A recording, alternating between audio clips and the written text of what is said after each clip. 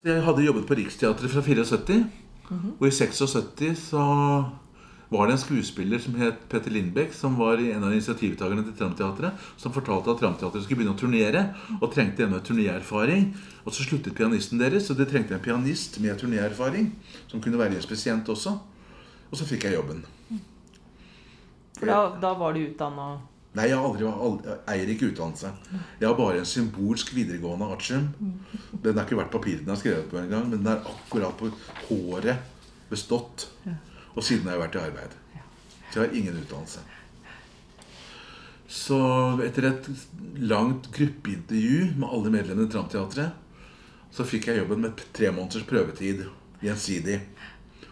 Og så ble jeg der i ni år. Hmm.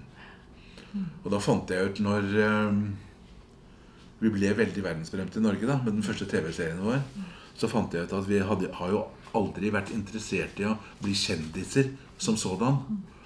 Det, det var ikke noe aktuelt. Vi hadde noe på hjertet. Vi hadde en agenda. Da tenkte jeg å, nå har jeg tilgang på uendelige mengder spaltekilometer. Det må jeg bruke til noe. Ok, da fronter jeg det å være åpen homse. Så jeg gjorde et, som jeg har skjønt, legendarisk intervju med det nye i 1980 eller 81 på den tid hvor det var veldig veldig få åpne homser. Det var vel bare Kim Friele og Finn Schjøll omtrent.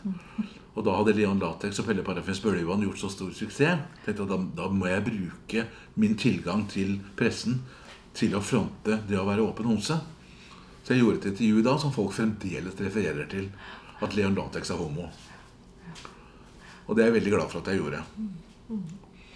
For da, da, da var det veldig få, for å si nesten ingen. Hva var det du sa i det intervjuet? Jeg sa bare at det er helt ålreit å være homse. Vi vi er ikke kriminelle, og vi er ikke pedofile. Og vi er ikke kleptomane engang. Hvorfor ble det akkurat det nye?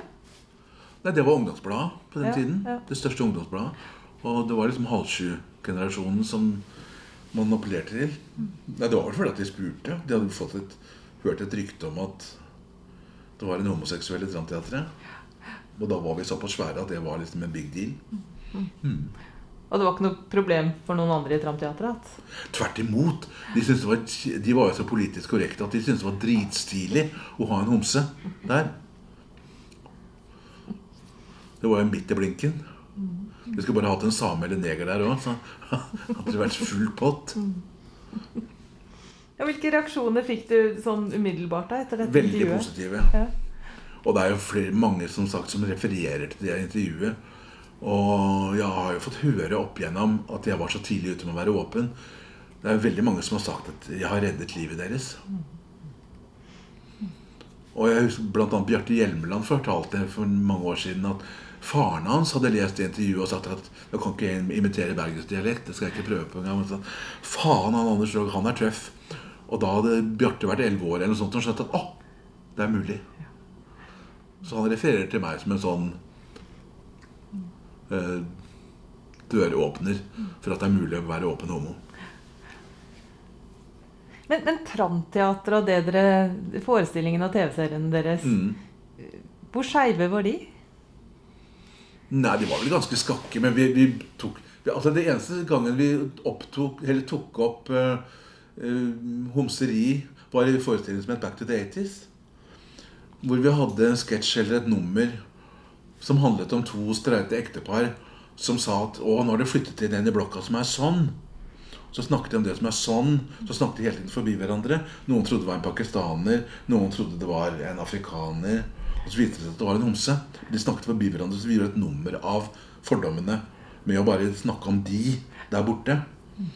Så det var det eneste gangen vi hadde det på repertoaret. Og så var det jo også en sekvens i Back to the 80s hvor uh, sannhetsserumet var kommet på avveie.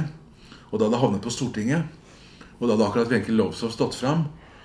Og da var det en, en representant på dette Stortinget Back to 80s da, som snakket nynorsk, eller sånn kaudrivelsk nynorsk.